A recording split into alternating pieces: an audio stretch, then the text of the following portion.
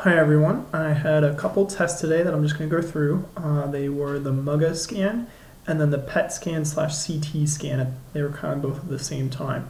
Uh, both of them were pretty painless. Uh, the only thing that it kind of was a long day. I got there around 12:30 and I probably didn't leave until close to 5. So I was at the Hillman Center for all afternoon. Um, and it wasn't that, you know, they were kind of just sitting me in the waiting room. It was more of the test just took a while. Um, so when I first got there, they had to do normal vital stuff, and with that, they also had to, um, you know, sit me down, ask a couple questions. And the nurse that was asking me questions, he says, "Okay, so you have a port in place," and he was like, "I said yes," and he was like, "All right, can you give me your port card?" And me being a PowerPort card member, got to use my port for the first time. Uh, the thing is awesome. Uh, so he I told him it was the first time being used, so he was just telling me everything that they were going to do with it. So he cleans it off pretty well, and then um, he put a you know a needle in, and then it kind of clicked in. And I'm telling you right now, the needle was less painful than any other needle I've had, you know, in my arms or hands or anything like that. So it was awesome. Um, and then um, he's telling me he's going to take some blood, and I'm kind of squeamish about that stuff, so I wasn't watching. And so he does it. Like I hear him click attached to it. Um, sorry, it had a catheter attached to it, so it just had a tube that ran down underneath my shirt and then out the bottom of my shirt. so I hear him click to it, and kind of didn't want to watch because I didn't know how it was going to feel. And then he unclipped. I didn't even notice anything had happened, so it was also kind of nice about that.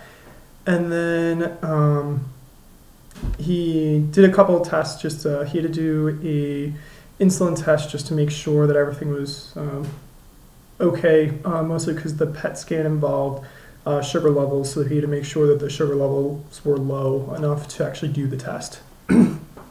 so the first test I had was the MUGA one. And uh, so they lead me back to where that was going to be taking place, and the tech or doctor there decided was you know, going through what the actual test was, and he was explaining how it was the percent capacity of your heartbeat. So um, he was pretty much saying, think about how your heart, when it expands and then pushes back out, they want to know how much of a push it's doing. And he said anything above 50% is considered normal. Um, he said for someone my age, and since I'm a runner, that there's it, it should be no problem at all. So um, for the test, the way they do it is uh, again they use the port. Uh, they had to take a good amount of blood. Um, he clicked onto it, and I was watching him do it, and I watched you know it go into the vial, and I was actually able to watch it and didn't even, couldn't even feel anything. So it was kind of cool with uh, that since I am squeamish with that stuff. The way they do the test is so they take that blood, they add a radioactive material to it that emits gamma rays. They then uh, re inject that blood, and then they do a series of pictures in three different positions. Each position is done for five minutes. And the way it works is they attached EKGs, and then when it got to the peak, so when my heart was the most full, it would take a series of pictures as my heart was pushing out and try to try figuring out how much blood was being pushed out. what they do is they take the pictures and impose them and kind of create like a best guess of what's going on.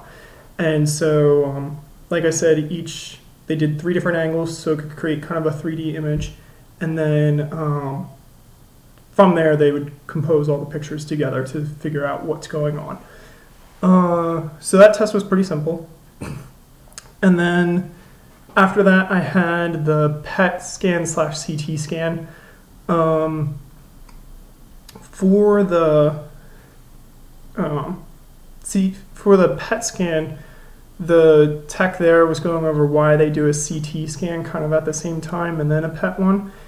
So he was explaining it as a CT scan will take what your body looks like. So, you know, the shapes of the organs and the different um, densities and stuff like that, but it can't really determine if anything is cancerous on it. So um, that was the main point of the test was to see where the cancer was. So the PET scan, the way it works is the radioactive material they put in will go straight to the cancer. So it will form um, kind of an image where the cancer is. And um, so he was explaining, you know, like a good example would be so on the lung, so if you had a bump on it, the CT scan would be able to show the bump, but it wouldn't be able to tell you much information about it. And typically, they would have to then do a biopsy to figure out if it was cancerous or not. With a PET scan immediately done afterwards, they would be able to see if that area was glowing or not to figure out if it was cancerous. So it was kind of cool how that test worked, kind of how they imposed the two tests on top of each other to figure out what's going on. Um, so for that test, what they did was kind of inject me with something uh, I'm not quite sure what it was. Um, like again, it was another radioactive um, material that would. Uh, he was saying that it breaks down. Its half life is every hour. So I then had to go sit and wait somewhere for an hour, so that way the material had time to get to where the cancer actually was. The um, for that test, they kind of laid me in one of those beds, but it wasn't like you see on TV it was kind of like two smaller versions, and the one side was the CT scan, and the other side was the PET scan. And the way they did it was they kind of segmented the body. So they did like lower limb area, then middle area, then upper chest, then head area. And then um, the CT scan probably took about five minutes to do. Um, for that one, they kind of they put a drug in you that's like a iodine type thing. That was the interesting sensation uh, before I laid down, they kept telling me they were like, just to you know, this drug gives you the sensation that you're going that you're peeing yourself. And so she's like, trust me, you're not peeing yourself. You're perfectly fine. And so when they were putting the drug in, the woman was like, all right, you're gonna start feeling warmness in your neck. And I was like, yep. And she's like, okay, now in your chest. Yep. And she's like, now in your groin area. And I'm promising you not peeing yourself. And I was like, oh my god, it really does feel like you're being yourself. And she's like, it's gonna go away in a couple seconds. You're perfectly fine. Just lay there. You're fine. And it was fine. Um, so like I said, the CT scan was probably about five minutes. After the CT scan, it kind of determines how long the PET scan is going to take. And I think it took about like 18, 19 minutes to do uh, all the way through.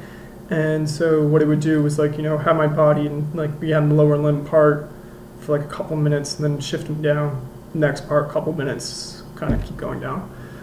So like I said, both tests weren't that bad. Um, the only thing was probably the hour wait after, you know, the PET scan drug was injected and then waiting for that. Um, but it, it really wasn't that bad. Uh, so the next thing I have is on Thursday, and that's when I get the results for the stage, and that would be the PET scan along with the bone marrow biopsy. Um, kind of just waiting for that news. And then after that, I will start chemo, and they're going to base what um, what chemo treatment I'll be doing after that. It'll still be ABVD, but uh, just the amount of how long I have to do it and and the dosages and stuff like that will change based on the stage. Um, so we find out Thursday. Um, just to let you know, I'm probably not going to post anything on Thursday. They told me I'm probably going to be pretty wiped after my first chemo treatment, so uh, it probably won't be until Friday or Saturday before I put a post. Um, I might just put a text one up just to let everyone know what the stage is, but first figure that out. So. Uh, that's everything for now. All right, talk to you later.